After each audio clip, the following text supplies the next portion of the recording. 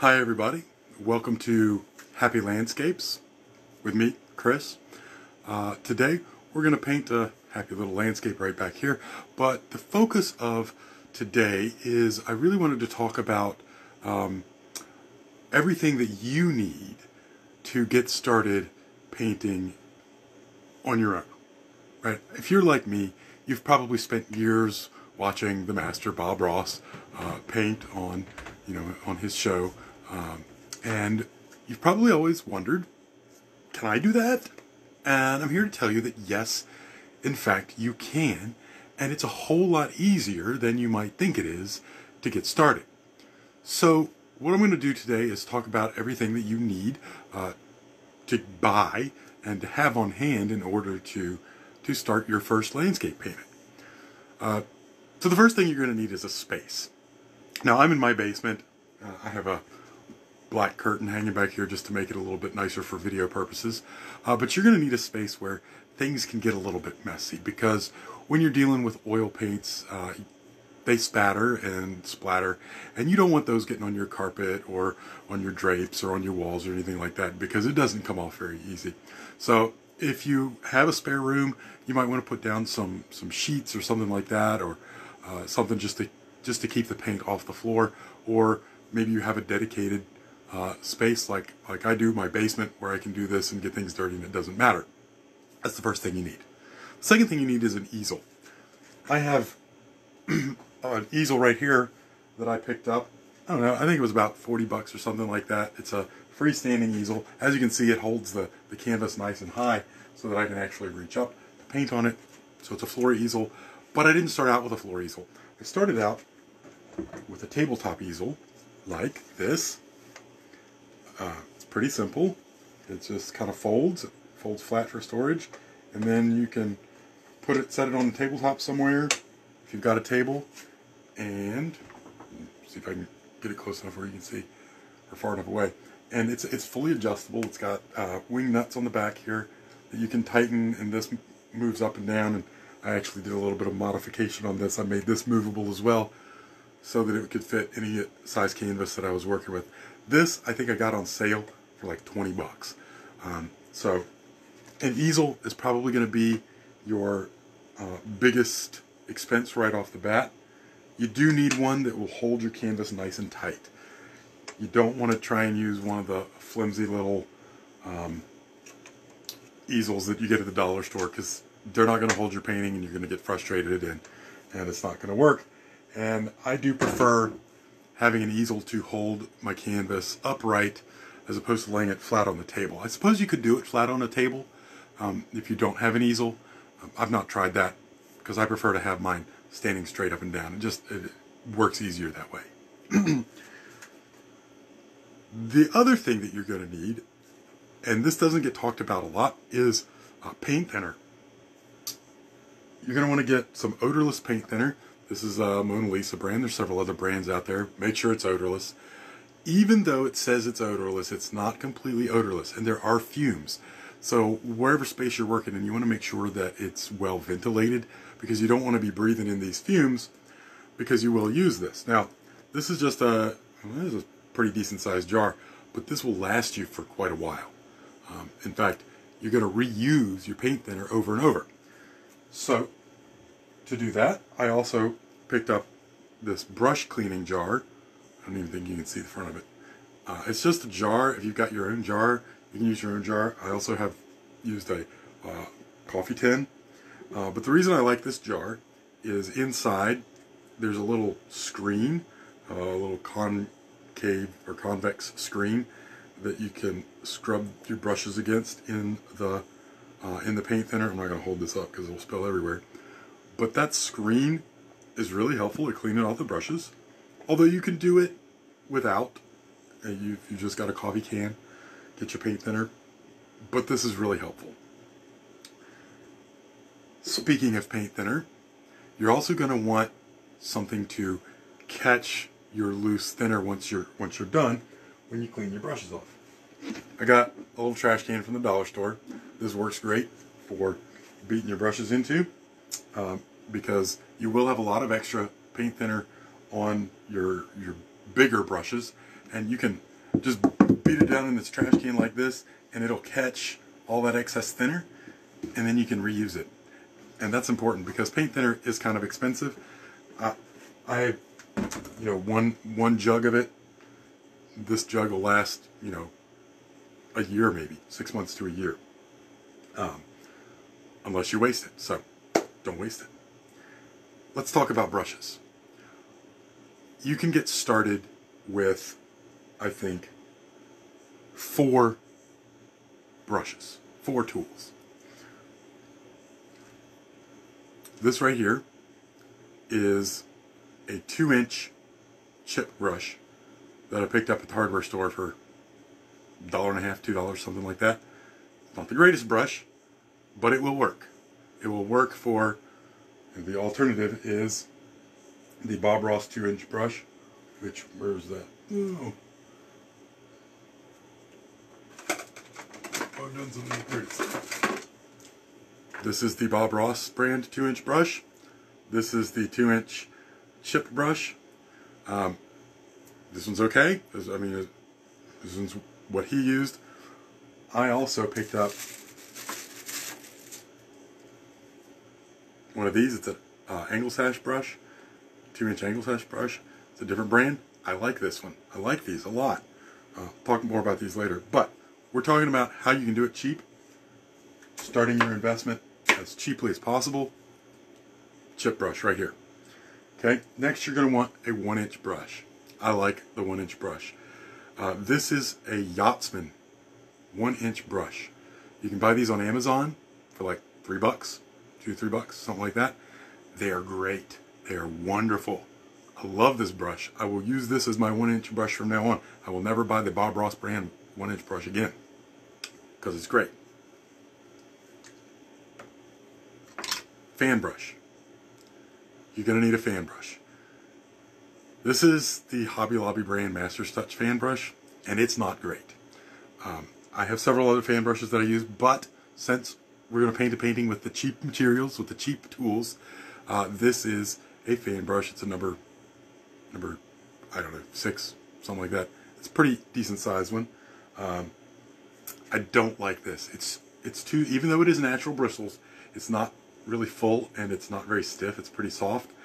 Um, I found that making trees with it was a little difficult. However, the other thing I discovered is that after you use it a couple of times, maybe run it through some paint, clean it off, let it dry, it gets a little stiffer. Uh, if you don't mind using Amazon, um, there are some uh, some fan brushes on Amazon that are really good, come highly recommended. I haven't gotten any of those yet, but I probably will. Uh, and they're super cheap. Um, but this was like, I don't know, $3 at uh, the Hobby Lobby. I get a lot of my supplies from the Hobby Lobby because they're cheap and they're decent, except for these brushes. They're not, these brushes aren't good. They also, Hobby Lobby also does a lot of half off sales. In fact, yesterday or Friday, I went, they had, they're having a 50% off all of their Master's Touch art supplies. And that brings me to paint. I do use the Master's Touch oil paints from Hobby Lobby. This is my Phthalo Blue, Alizarin Crimson. These are $5.99 regularly, and these tubes will last you quite a bit. Uh, but if you get them with the 50% off sale, three bucks for a tube of paint. That means it's as cheap, if not cheaper, than painting with acrylics. So don't think that using oils is, you know, out of your realm of possibilities because of expense. It's not any more expensive than using acrylics. Um, so, paints. You will need the following colors. You will need phthalo blue, alizarin crimson, titanium white, um, black, like an ivory black or midnight black, and what else? Um, a plant green or a sap green, and yellow medium. Those are the colors that you have to have to get started, or that I think you have to have to get started, and that's what we're going to use today. The other thing that you need as far as paint goes is a liquid first coat. This is from Hobby Lobby. Uh, this is probably your second most, second biggest expense after the paint thinner. This and the paint thinner probably cost about the same. This can right here, but this can will last me forever. I haven't used all of it. I started with this can when I first started uh, painting, and that was like three years ago. So one can will last you quite a while. Um, so you can you can get this at Hobby Lobby. I don't think Michaels carries it. I haven't seen it at Michaels, uh, but most of your art supply stores should carry this. If not, you can order it online. 12 bucks for a can of this. 12 bucks for that. 12 bucks for a decent sized can of paint thinner. And that's what you need in order to get started. Oh, one other tool that I forgot to mention. Palette knife. This is a small palette knife. I picked this up a long time ago. I don't even remember where, maybe Michael's, something like that. This is my favorite palette knife. I like this one better than my big old Bob Ross palette knife. Um, I think the small size is actually, it works better. You can do more with it, but that's up to you. Um, I did, I was able to buy, so this is a, a, bigger, I have a feeling these are the same brand. Um, these were the only ones that they had the last time I went to buy palette knives. It's pretty big, it's pretty chunky, uh, but they work, but it works. Um, so this is like two bucks at Hobby Lobby. So you have to have a palette knife and those three brushes that I talked about, and you're ready to get started. If anybody has any questions about starting materials, feel free to send me a message. I'd love to hear from you. I'll be happy to answer any questions that you might have. Okay, so let's get started. Why oil paints? Why choose to work with oils instead of acrylics? Acrylics are uh, extremely popular. A lot of people use acrylics and they paint beautiful pictures with acrylics. So why why paint with oils? Oils are a little bit more hazardous. You know, they've got more chemicals in them. Um, the jury's still kind of out as to whether or not they're healthy to use. I don't know. Um, acrylics are just safer. So why use oils? I think the effects that you can get using oils uh, just beat out anything you can do with acrylics. The blending uh, that we do with the skies and the water and being able to move the paint while it's wet on the canvas, you cannot do that with acrylics. You can't because they dry too fast. Even if you water them down, they still dry way, way too fast to be able to do what you can do with oils. so let me get my liquid first coat. And I'm going to use all of these cheaper tools and materials to show you that you can paint on a budget. One thing I did forget that I like to use, this is optional. Um, I have these vinyl gloves that I wear to keep from getting too messy. Um, just to keep my fingers from getting too messy. And they are disposable if you are if you don't like disposing of things. And by all means, don't wear them. You can do this without gloves. Just wash your hands real good afterwards. Most of the newer oil paints, they don't have the uh, the toxic chemicals in them that the older ones were known for. So I'm put my vinyl gloves on. Get my my two inch chip brush to put on my base coat of liquid white. Now this is the step that a lot of beginners struggle with. Knowing if and when they've got enough liquid white on their canvas. One trick that you can do is you can prime your canvas beforehand with like a hint of gray and then you'll easily be able to see where you've gone over it with the liquid white because putting white on a white canvas is very difficult to see. Or you can kind of move your head around and see where it's glossy on the canvas and where it's not, and you do, you want to scrub it in just as good as you can. Get a good coat on. But on the flip side, you don't want it too much on your canvas. You want just enough so that the other paint that you put on will slide around real easy and blend real easy, but you don't want so much that it just makes your whole canvas all soggy. I have a feeling I'm putting more on here than I normally would, but it's okay.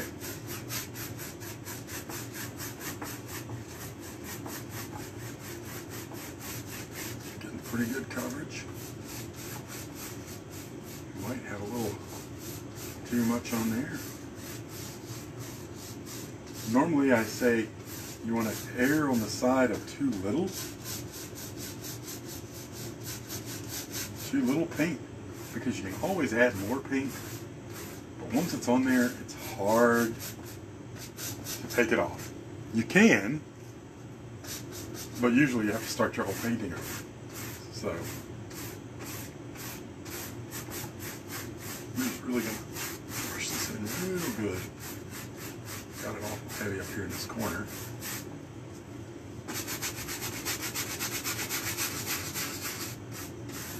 And the other thing is you can treat these chip brushes however you want because they won't last long. This is the second time I've used this one. I don't know how long I will actually get to use this one. Because I might ruin it this time or next time or find out that it's just not.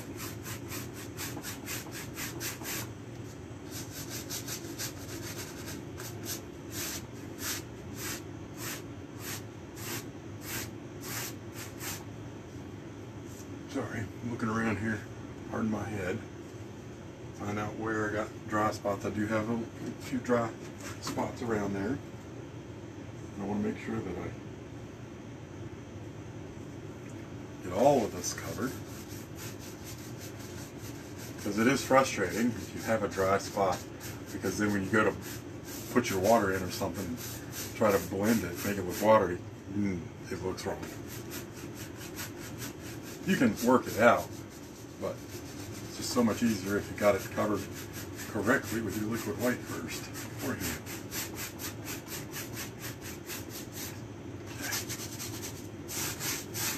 And this is the part that you never saw on Bob Ross. He never showed you all the prep stuff.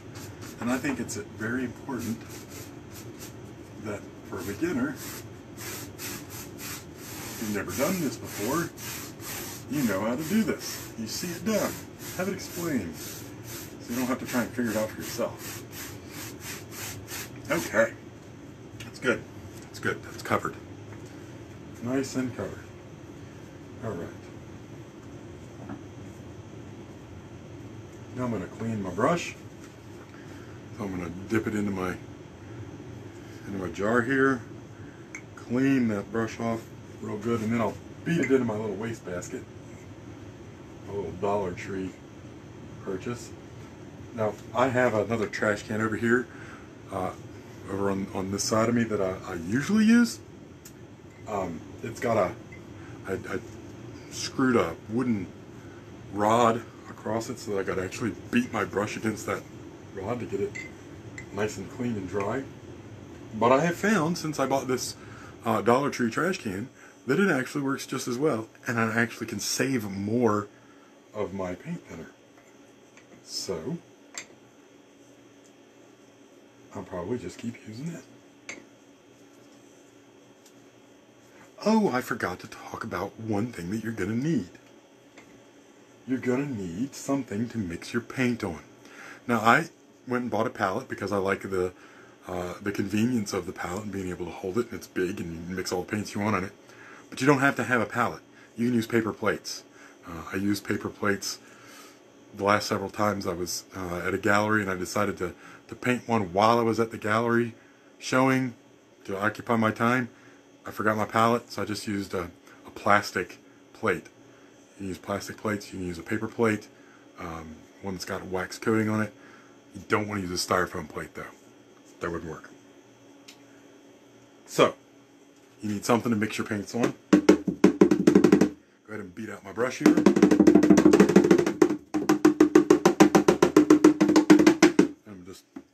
Beating it right here in this trash can.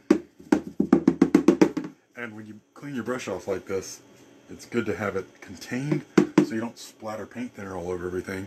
Because if you splatter paint thinner on your on your painting, it's gonna it's gonna be a headache. Here we go. Got that cleaned off. I don't have a palette.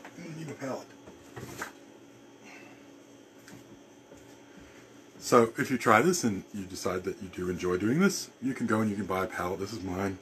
It's nice and grungy. I've used it forever. Uh, and now you're going to get your paints out.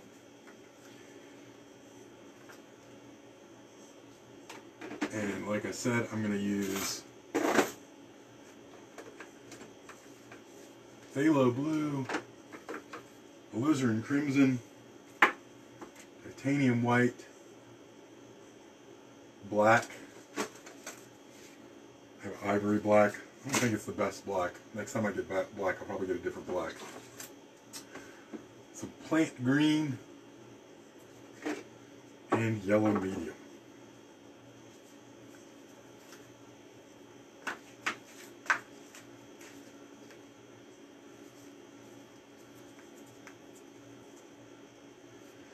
I think the last time I got paint, I went to Michael's and I got this uh, Winsor and Newton. Um, it's okay. Uh, it's not my favorite. It doesn't. Uh, the Phthalo Blue is fine. The thing about these the oil paints is you want the right consistency of paint. Uh, the ones at Michaels, I think it's these these Winsor Newtons. I think that's where I got it. They're they're too thin and creamy, and for most of your paints, you want a nice thick, stiff paint, and uh, the Master's Touch are like that. So I put just a little bit of blue on my palette to start off my sky. And I always, less is more when it comes to oil paints. Less is more. So I'm going to take my 2 inch chip brush and just get a little bit of paint on there. Like I said, you can always add more, but you can't take it away once you've got it on there. So I'm going to go up here to the top of my painting, and I'm going to make a little extra big, well these are big exaggerated X strokes, but that's what you're going to do. You're going to do X's like this, all across for your sky, like so. That's really dark, as you can see. But, if you start at the top, nice and dark, once you blend, as you blend down, it will get lighter and lighter and lighter. Now as you can see up here, I didn't get enough liquid white. It's not blending white as well as I would like.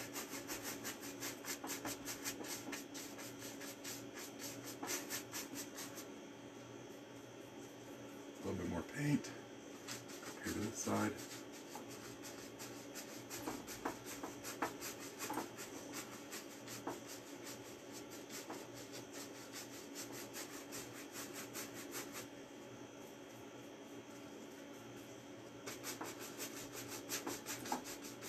Probably just need to make that darker up there at the top corner.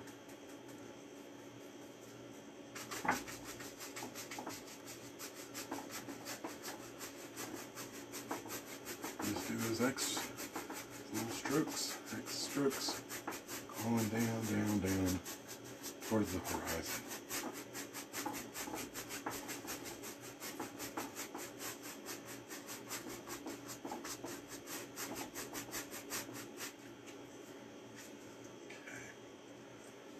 Take a look here. It's a little high for me and I got some glare on it, so I'm trying to get a good look. That's not blended very well. Um, I don't know well you guys can see that, but it doesn't look blended to me, so I'm just going to go back up here. And I think that's the one drawback. or the main drawback to this chip brush is that the bristles aren't packed tight enough. And so in order to blend things really well, you do have to use quite a bit more force than I would use with my other brushes.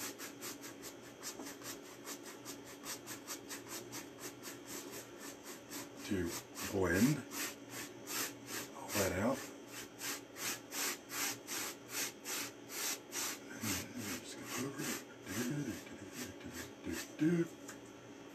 Doesn't look too bad. Doesn't look too bad. Now I'm also going to have a lake here. But I'm going to add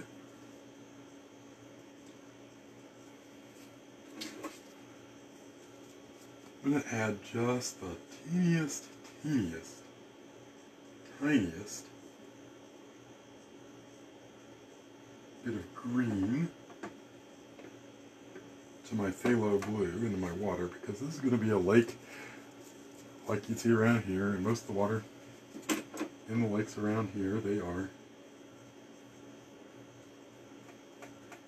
quite filled with algae. So I'm just going to add a hint of green into my phthalo blue. Here on my palette so I've got my plant green phthalo blue grab it there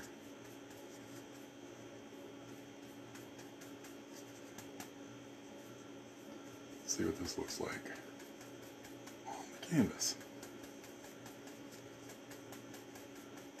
Now we're going to go down here to the bottom and we're going to pull straight across the bottom like so. Make it look like water. Not enough green. Not enough green. Let's get some green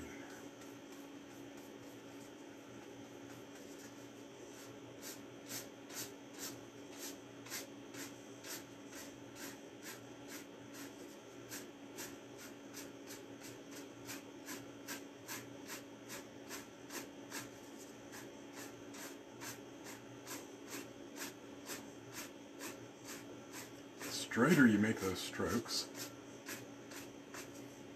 the better. Or more it looks like water.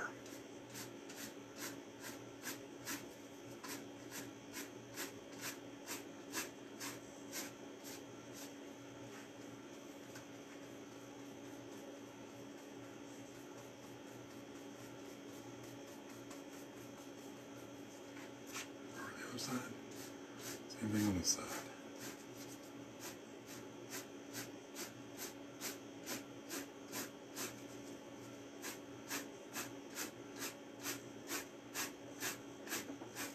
Bring it straight in.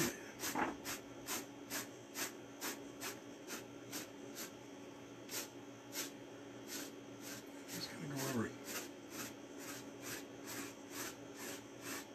You leave that white bit right there in the middle. Make that nice sparkly white.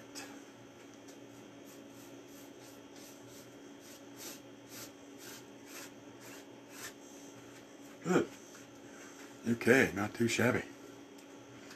Now, we're going to get to the fun part. Actually, I'm going to wash that brush off. Because I want to use it blend things. Actually, no, probably not. I'll probably use my one inch brush to blend out my clouds because that's the next step. After you've got your, your sky and your water, then we're going to do some clouds. Some happy little clouds.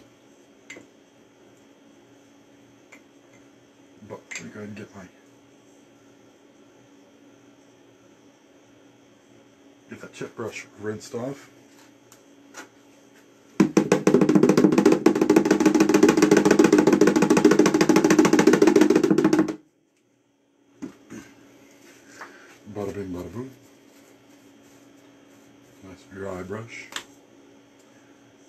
Now I'm going to get my fan brush. Get this chintzy old fan brush, cheap one.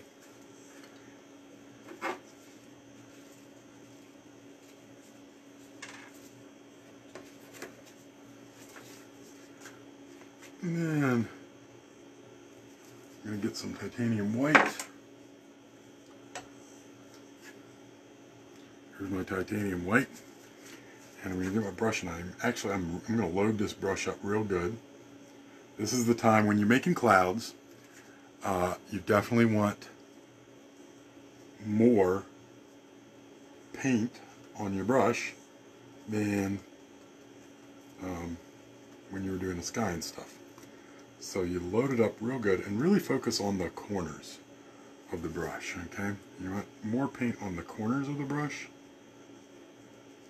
because what you're going to do is you're going to scrub this paint in. You're really going to scrub it in. So then you go up here and you find out, you decide where you want to where you want to put a cloud. Let's have a happy, happy puffy cloud right here, right here.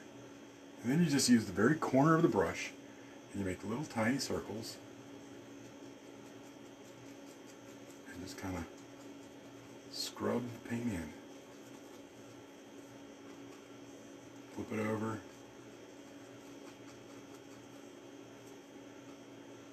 Scrub it in. Go back. Get some more paint. Yeah, it's going to pick up some of that blue from the sky. That's okay.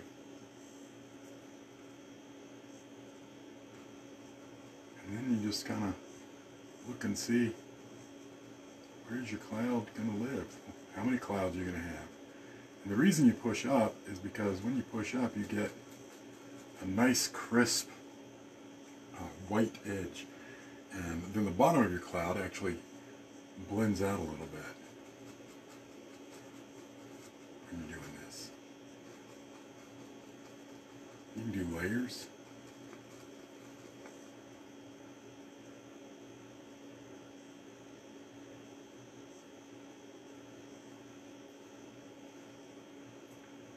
Let's make sure we've got some nice bright white there.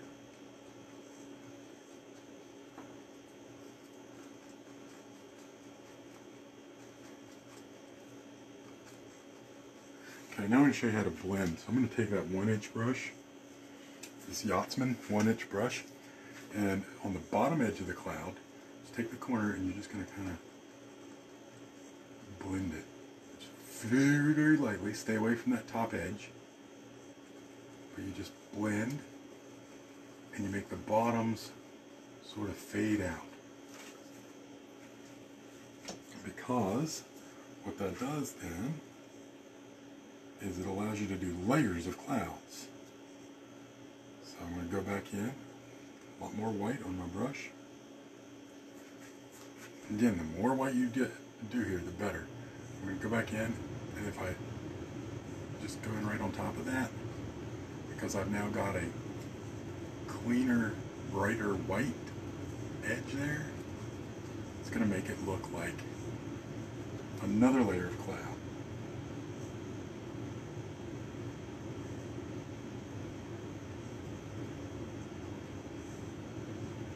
Layers are the name of the game here.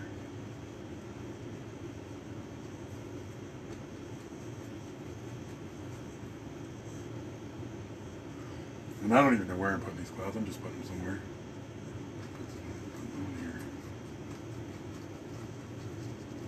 You just use the corner and just do little circles.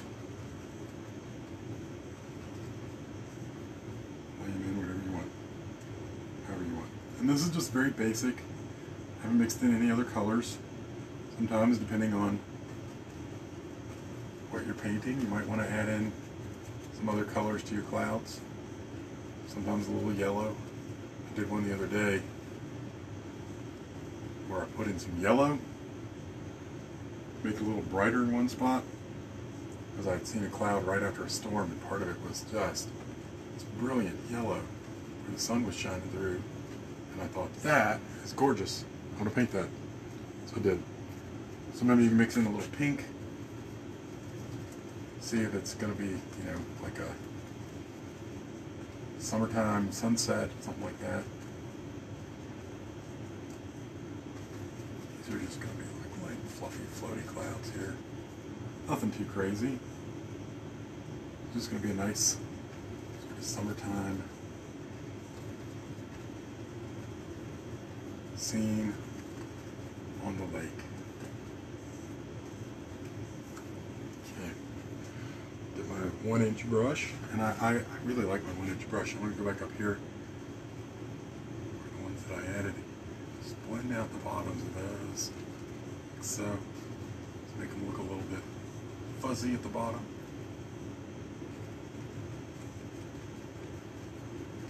Clouds are always sort of fuzzy and flat on the bottom. Alright, my head's in the way, I can't see this cloud over here, so.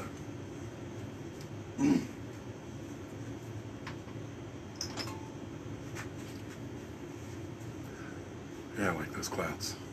Nice little fluffy clouds. Nice little fluffy clouds. Okay, I think that's it for my clouds. I'm gonna wash off my fan brush. And this is the advantage too, if you do this a lot and you have a lot of brushes, you don't have to clean them off quite as often. But if you've only got one of each kind, uh, like I've got, then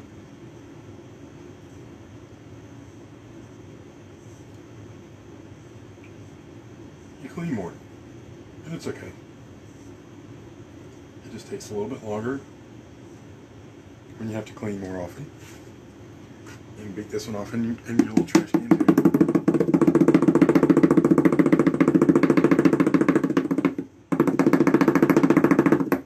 because that's satisfying. That's fun, that's satisfying. And seeing all that thinner collect in the bottom of your trash can, that's kind of satisfying too. Um, all right, now I know I said uh, that palette knife is one of those basic tools that you need, uh, but I'm not going to use that for this painting. I'm going to do some mountains, but I'm going to do some mountains around here, some of those uh, rolling hills. Um, so I'm not going to use the palette knife to paint with. What I am going to use it for is to mix the paint. And that is an important part all of this.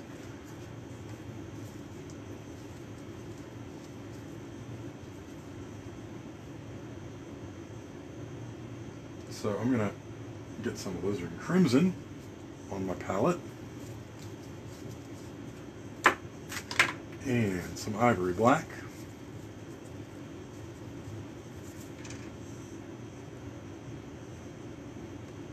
I'm going to show you my Ivory Black tube. I tend to use a lot more white and black than I do other colors. So this is a big tube. Compare this to my Phthalo Blue tube. Right, that's a lot bigger, especially the white. I go through a lot of white, uh, just because you do. Something you do. Go through a lot of white when you're painting. So I try and buy those in bulk when there's a sale, because a big tube like this is regularly $14.99, but if you get it for 50% off, $7.99, $7.50, whatever. All right, so I'm going to take my palette knife and I've got some blue, some crimson, and some black. And I'm going to mix up a nice dark lavender color. And there is a ratio to this. You want about twice as much crimson to blue because the blue is really, really strong. That phthalo blue is super duper strong. Um, so I'm just going to take that, take about half of that blue there, mix it in with my crimson and it'll make a gorgeous lavender color.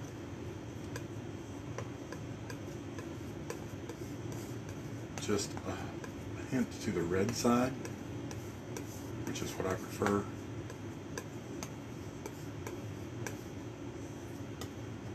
Mix it up real good.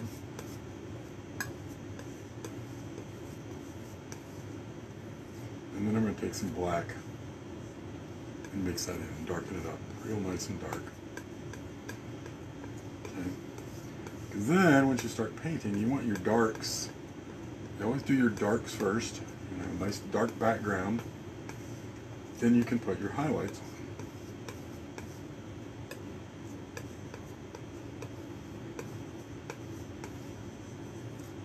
Okay. So I've got some nice dark lavender mixed up there.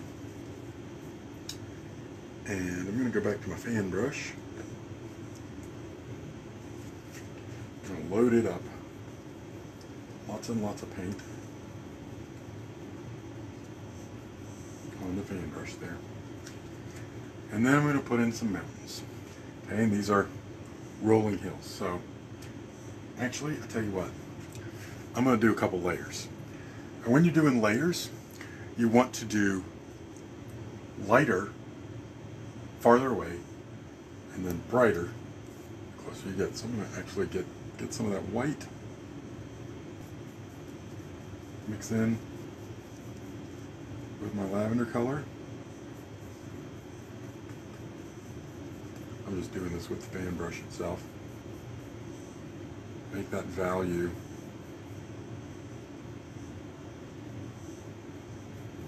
lighter. About like that. I don't know if you can see the difference between this. Yeah, you can see that. This is lighter, a lot lighter than this. So I'm going to take this, I'm going to go up here, I'm going to just sort of draw a little ridge mountains back here.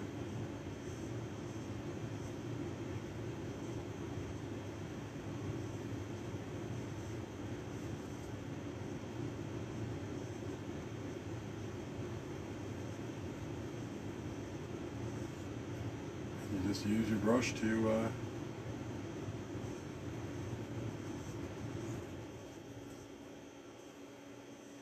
draw the top outline of whatever you want.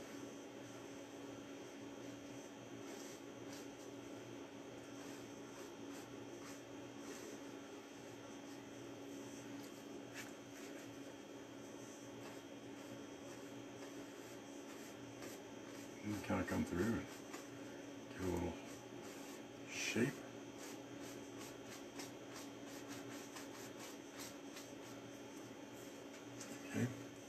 Now I'm going to take my, my two inch chip brush. And what you're going to do is you're just going to grab it, grab that paint, pull it.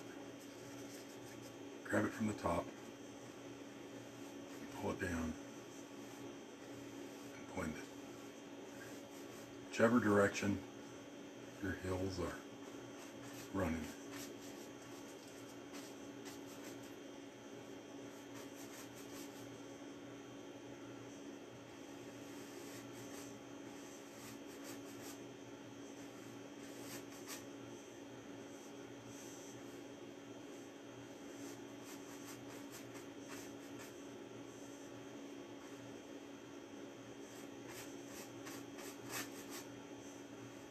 This is a great opportunity if you live somewhere where there are mountains and you want to paint a specific mountain. Go for it.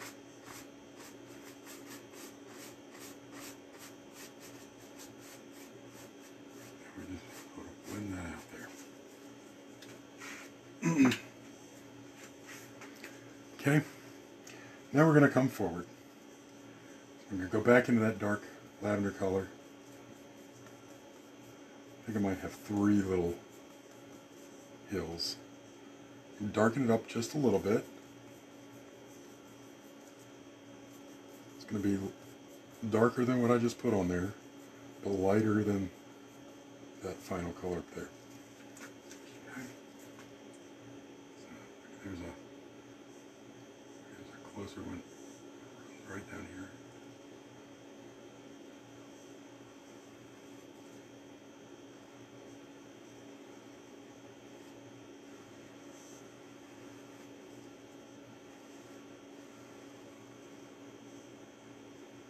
And overlap, that's fine. You can overlap your, your mountains. It's okay.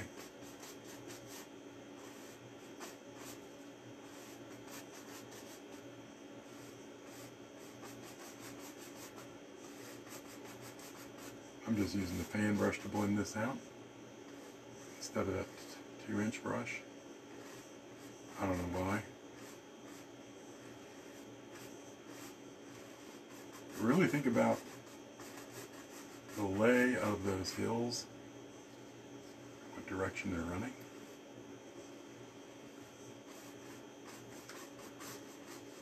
And I think that's going to be my closest one here.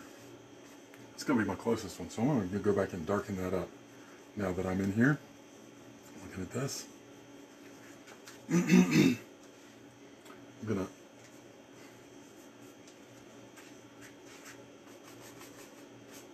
blend this out.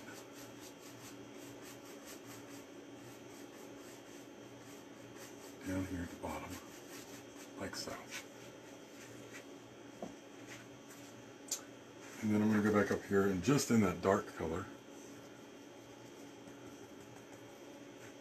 come back up here.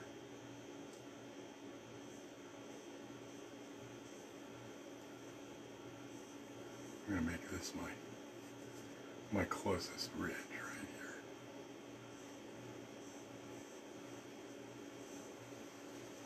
Like so. Okay, see how much darker that is than anything else back there?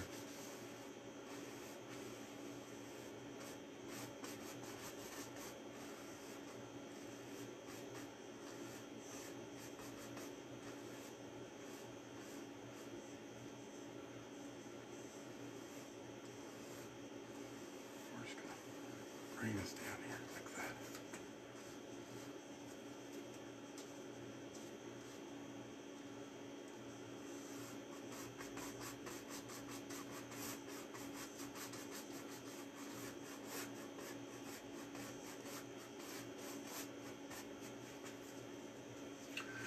Okay. Back to the two inch brush. Oh, Pull. Blend. Get nice and smooth. Smooth as you want it. Keep that nice hard edge up there at the top. Blend all the way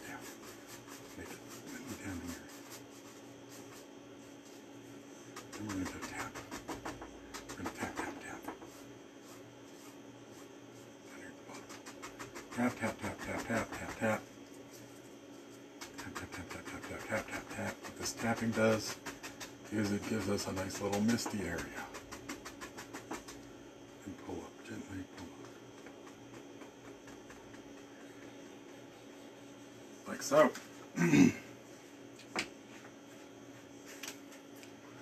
Okay, we got some nice Blue Ridge Mountains there. But this is going to be summer, we can't just have Blue Mountains. Need to have some highlights. So, I clean my fan brush off again.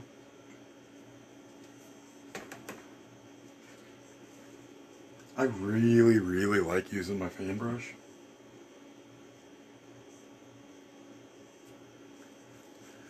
In fact, I'll probably use the fan brush for most of the rest of this.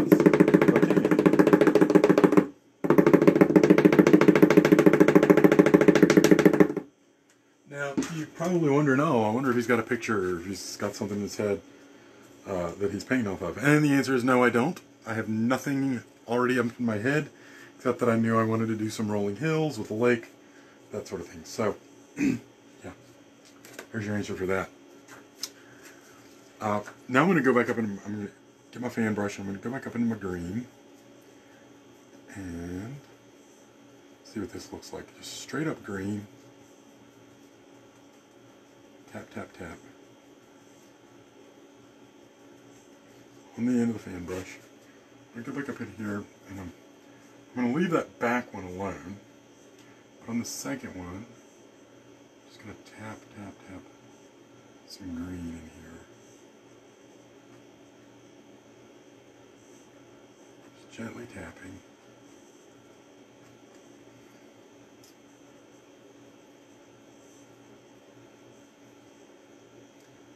And I'm tapping with the corner of the brush.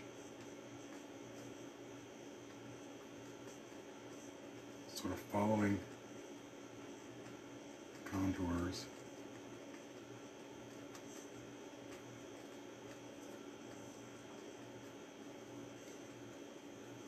Of that ridge.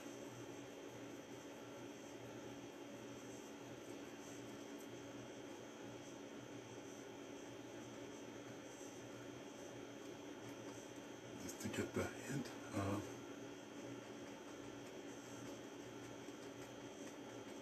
trees back in there. Some treetops.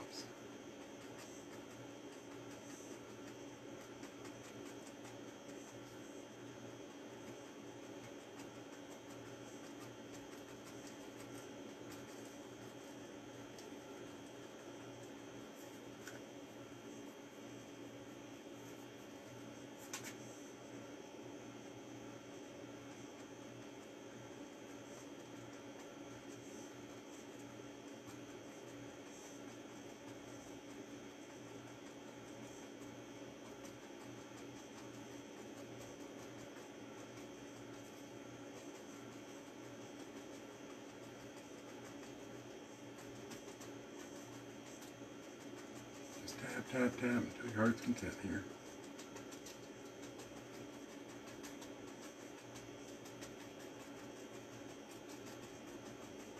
Put in some texture.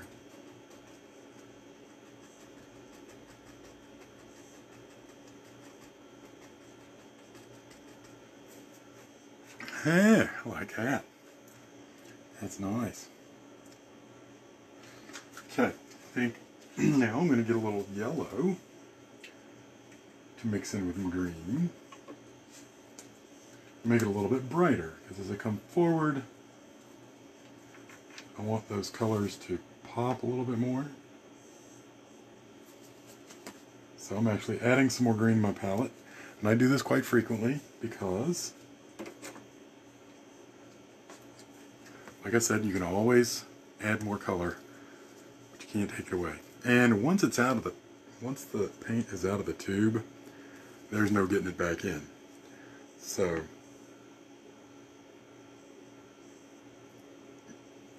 I try not to squeeze too much out at a time so that I can save it for later. Okay. So I'm to go back to my green here. And then get a little touch of that yellow. Actually going to need a lot of that yellow. Because that green is super dark.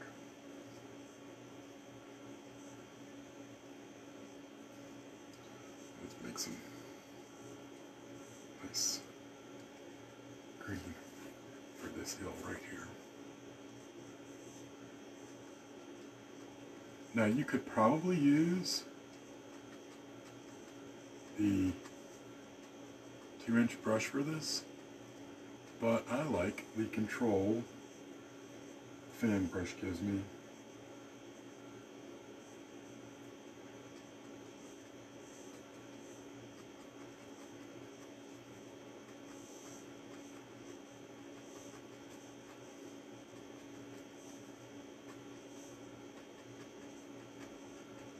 Hmm.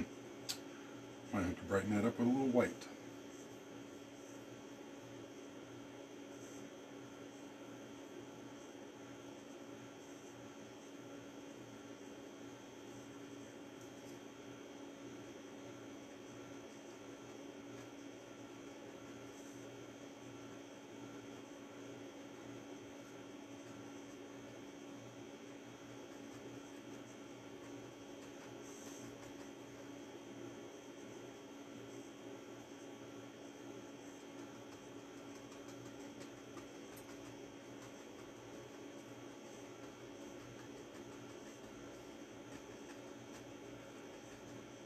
I'll mix it up. I'm to do some of that darker straight up sap green.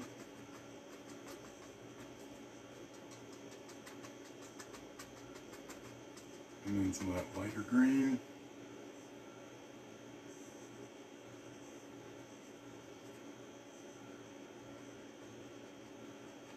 Provide some more contrasts there.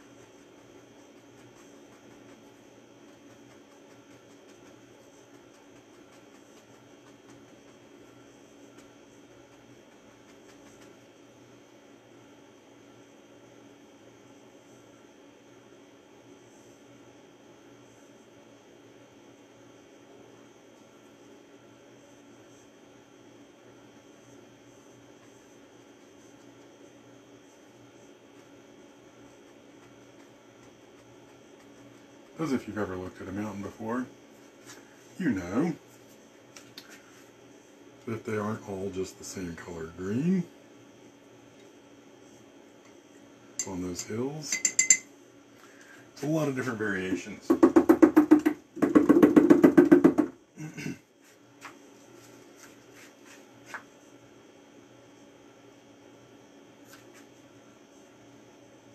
just getting some straight yellow here.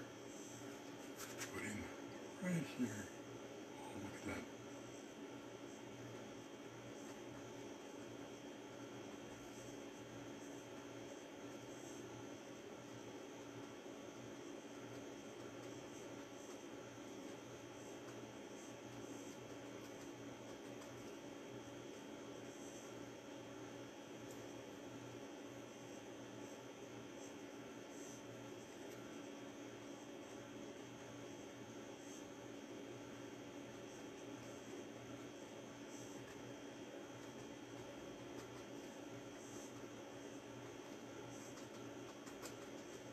I could do this all day. I could like sit here and use greens and stuff all day long. But I'm not going to. No, we're going to move on. Okay. We've got bigger fish to fry.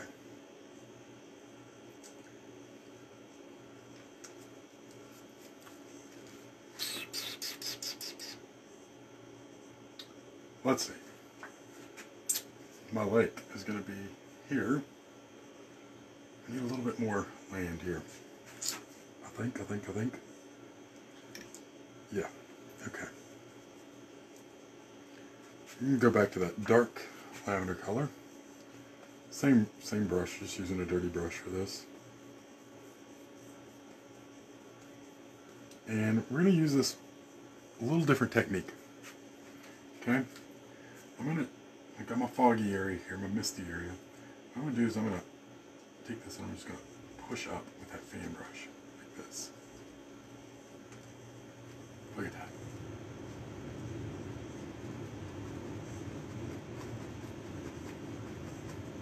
Now we've got a lot closer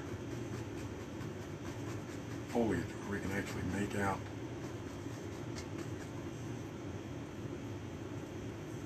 individual trees. And that's sort of going to the side there, but if you do it like this,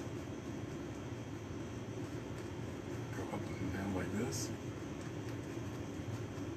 it doesn't look quite so much like pine trees. It looks more like, you know, some deciduous trees with some pine trees mixed in.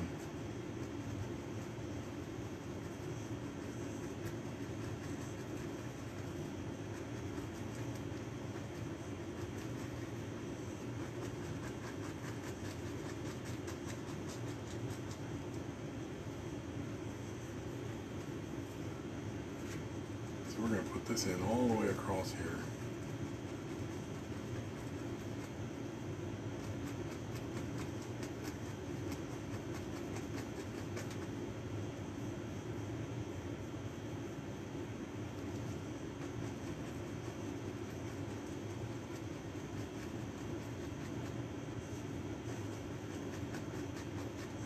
Maybe it goes way up over here, maybe this hill. Maybe there's a hill that comes comes in over here.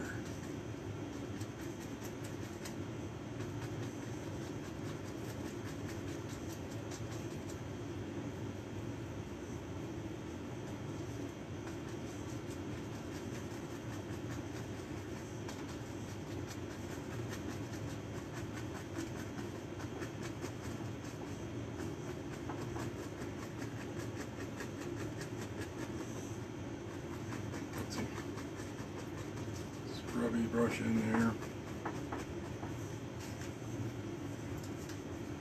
Okay. Now I'm going to take my two inch chip brush. I'm going to go through here and I'm going to make this little touch and pull down. And that's your lake shore. Then you go across. Make it a reflection. Like that. Kind of all the way across.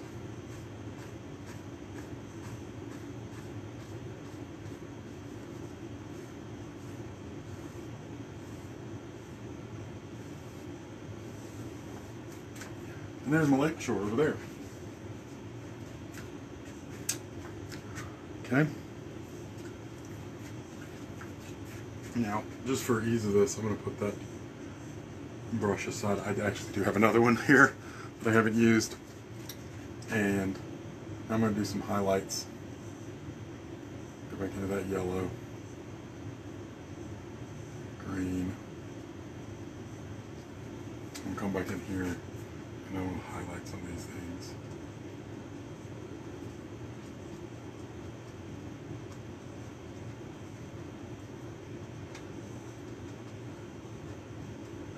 just with the corner of that fan brush.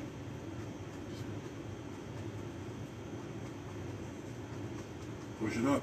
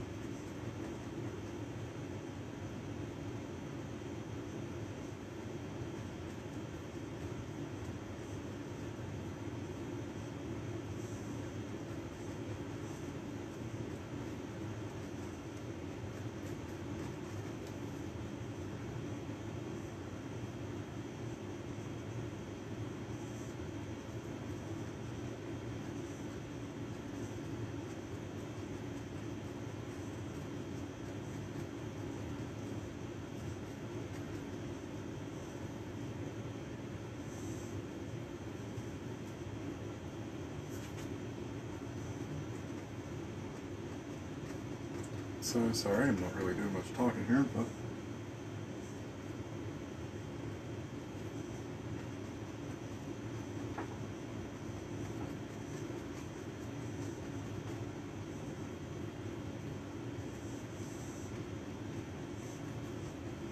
put a lot of yellow in there, touch it up with some green. Now there are plenty of other yellows you can use. Indian yellow. And those are really pretty. Mix those up as well. And with this, these yellows and stuff. There we go.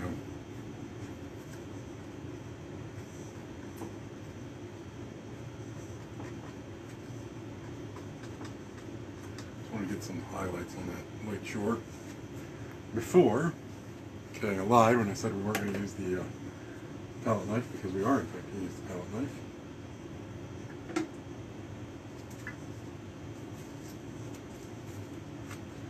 We take the palette knife and we take a little bit of a liquid white and we're going to cut in a shoreline over there.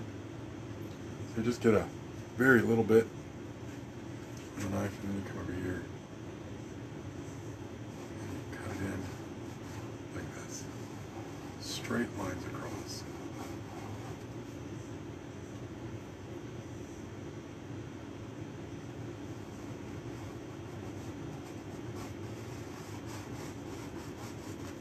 Oh, and then you get finger cream.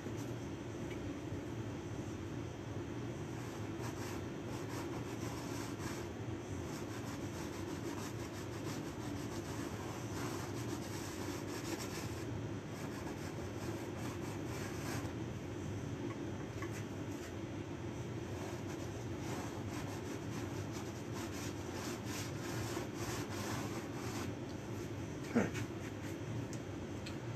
Probably that again when we get a little bit closer. Because, because, because, because, because. Oh dear, just made a big mess. Just made a big mess. Paint there.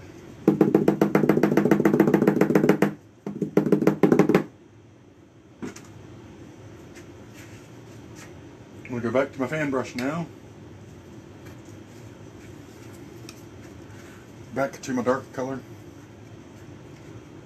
And we're gonna put in a foreground here.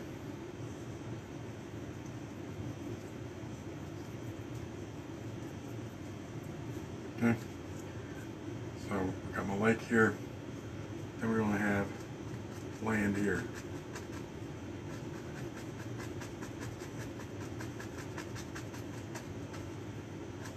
You can do this with a fan brush, you can do this with eh, whatever you want. Let me go get get that two inch brush, see if I can get, get some more paint on there faster.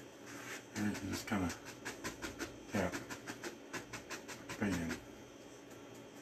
Get a nice and dark area.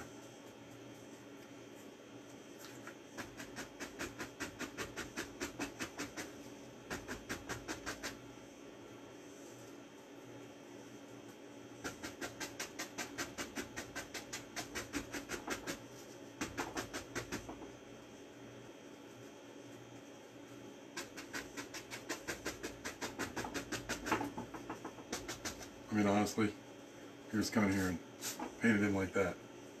But I get a little bit, a little bit more texture. Right now, we're just putting in dark.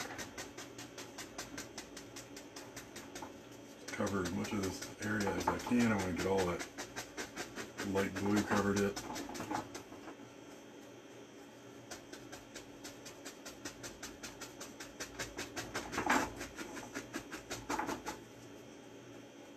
Why, you say? Why did you put all that water down there and just cover it up? Because I didn't know what I was going to do.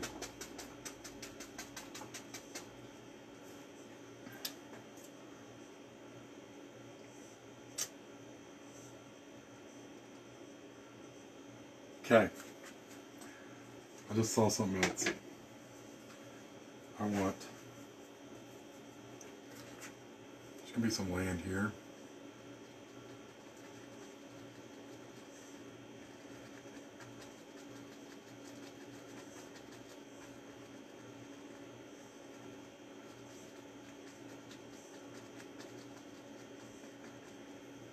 There's going to be a little dock. There's going to be a little dock off the end there. Okay, so I'm going to grab this.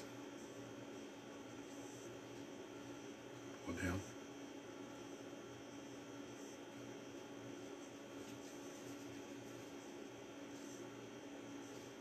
Across. Oh! Should have done that with a clean brush. Should have done that with a clean brush.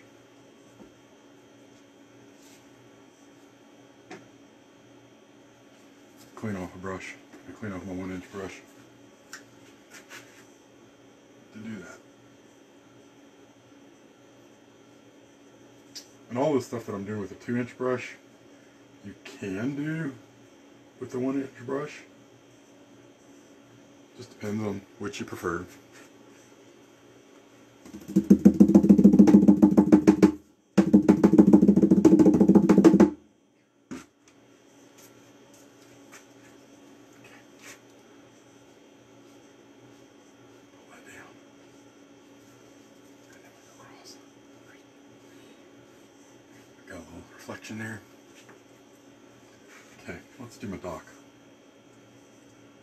Do the dock.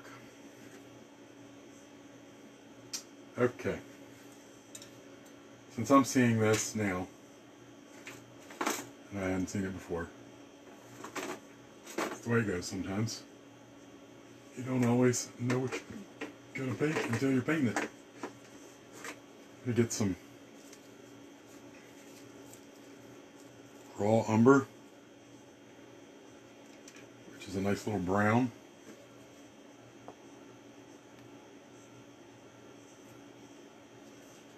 Let me get my palette knife.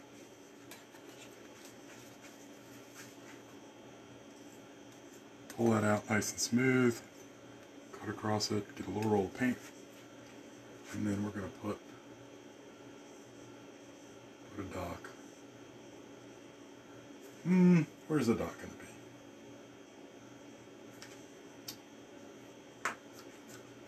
be? That dock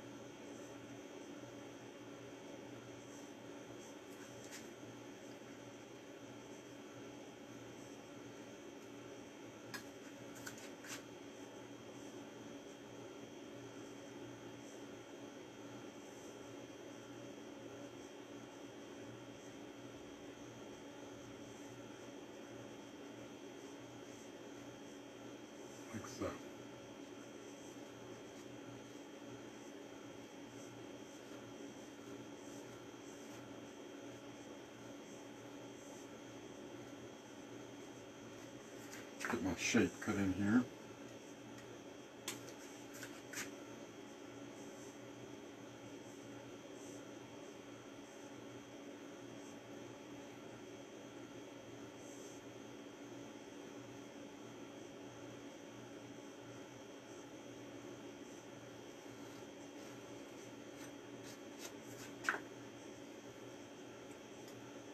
I know I've never, never painted a dock before, but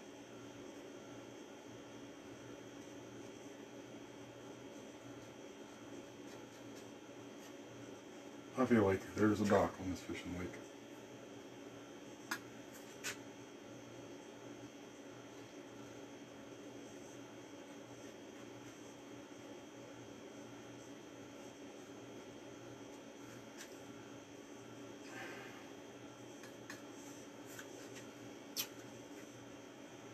Yep, yep, yep, yep, yep, yep, yep, yep, yep, yep, yep,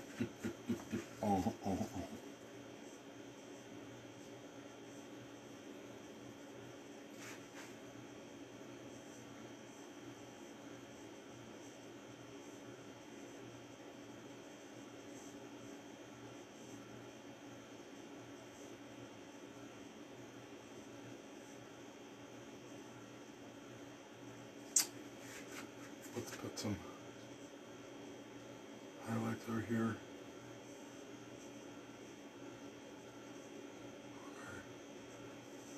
Little place here. I don't know what this is. A little jetty of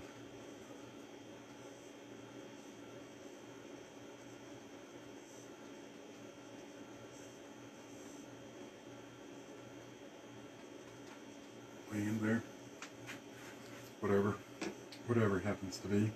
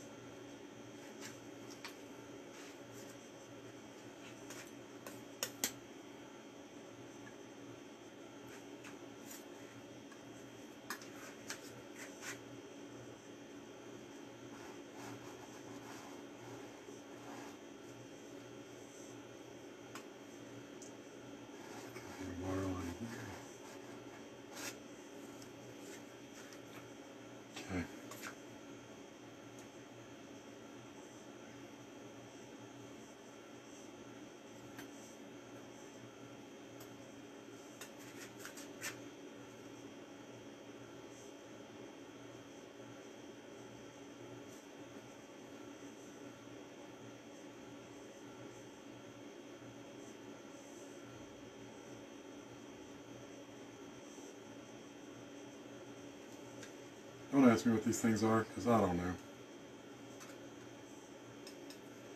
Something sticking up off the dock there.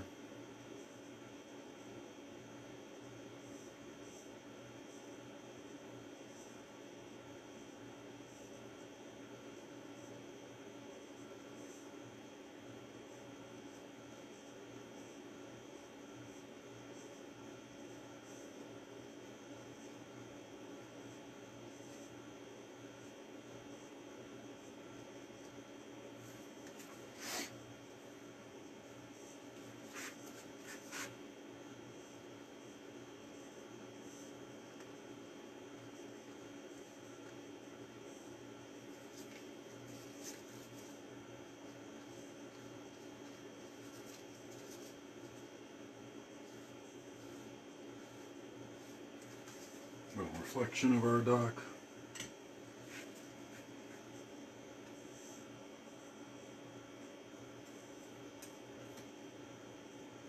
Little highlight here.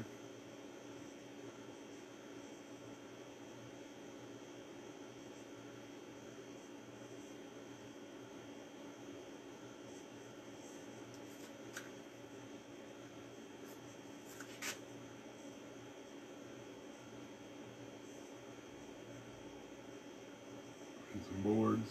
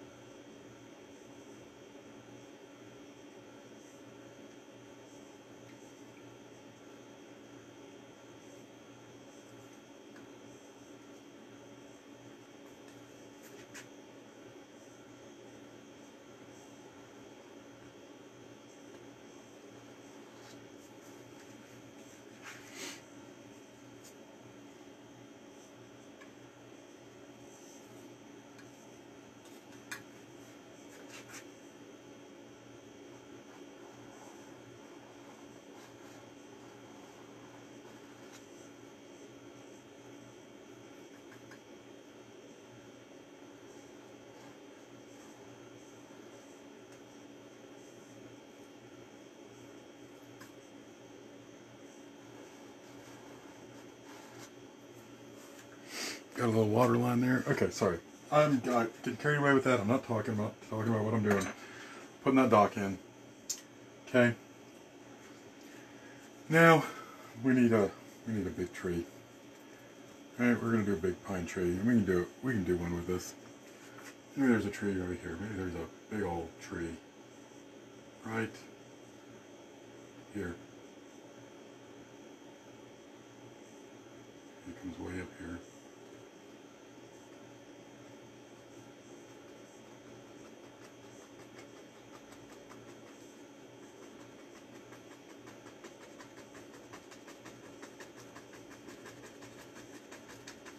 A big old pine tree there. Maybe he's not the biggest pine tree we have. He's got to have a friend. He's got a even bigger friend right there.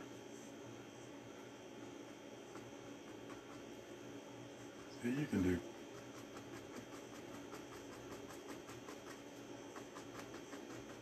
trees with these brushes. You just have to have the right touch.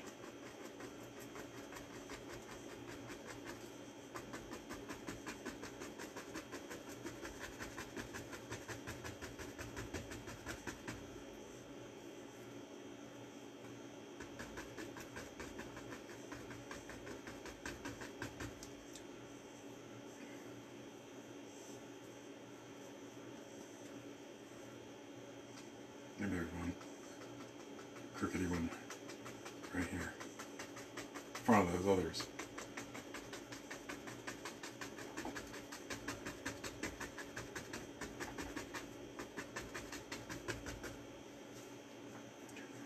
Like that.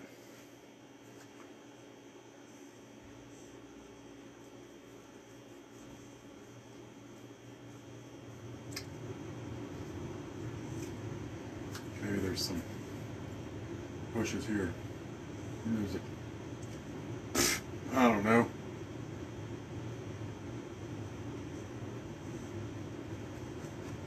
Some, some of these bushes here, I like the way this fan brush does that there.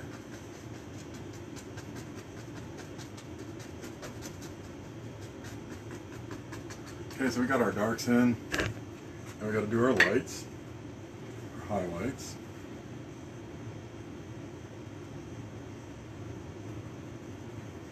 So we'll get some greens and yellows, and we'll go back in here.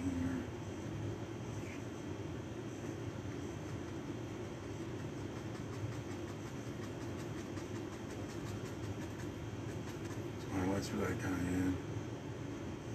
Up here. Highlights on this guy.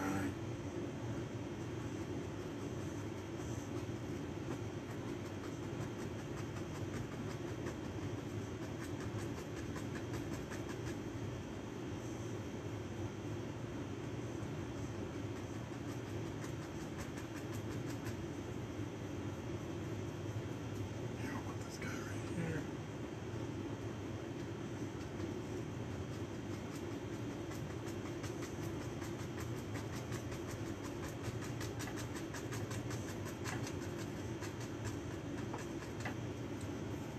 Yeah, we gotta put in some trunks. Go back and get some of that brown and white. Put in a trunk on this tree here. And a trunk on this tree here, just kind of touch, touch, and touch.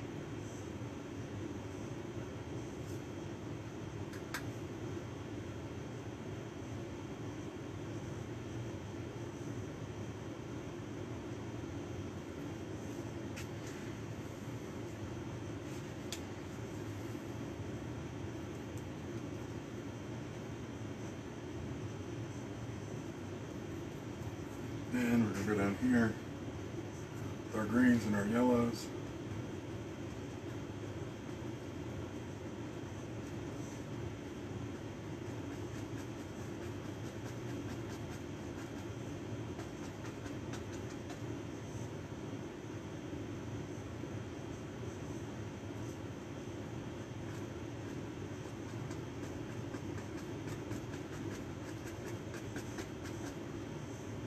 bunch of bushes.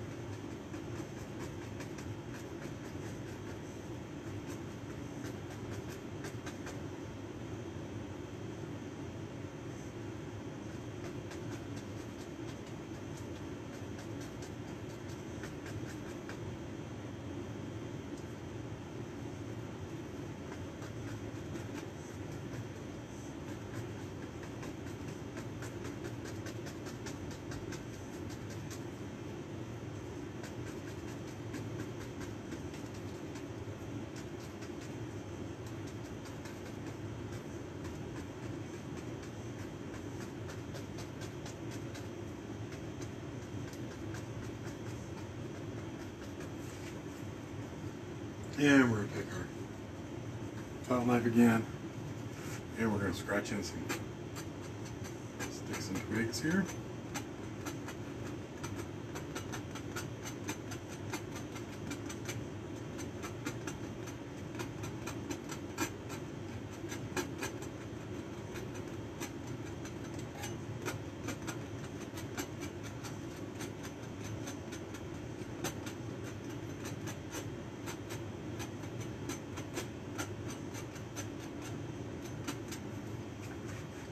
Like so.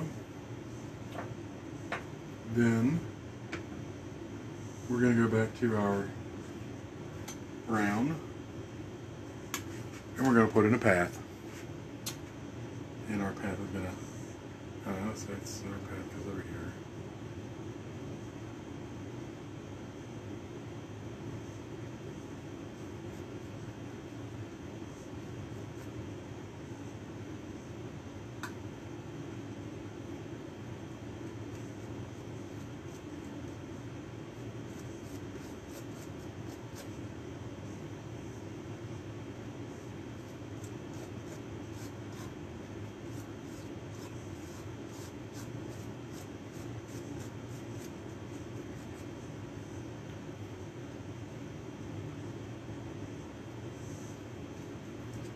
I just gotta put this in there. Yeah, just kind of wind back in there. Now we're gonna highlight that up.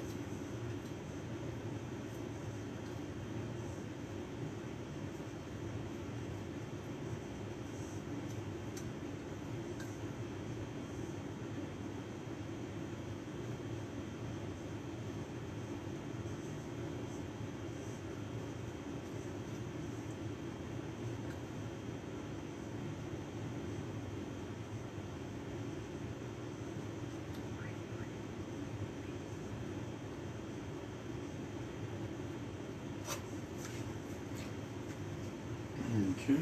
Now we're gonna put some bushes in front of it. Pull it back into the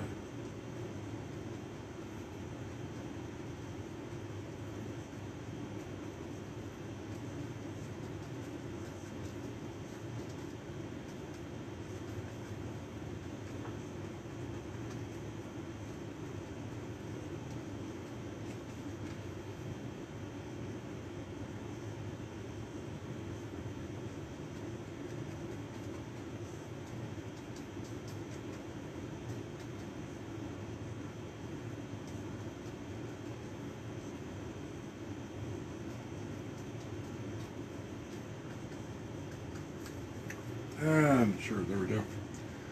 And we're gonna call that done. Because I'm tired of painting. And then we have some mounds in the back. Lake, dock, path. There you go. Hope you enjoyed. If you have any questions, feel free to reach out.